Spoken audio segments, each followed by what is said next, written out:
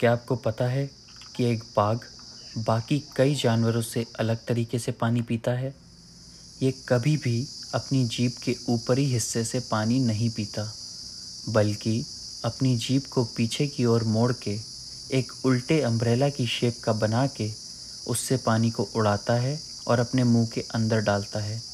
और ऐसा करने का सबसे मुख्य कारण है उसकी जीप का ऊपरी हिस्सा, जो कि कांटेदार जैसा होता है।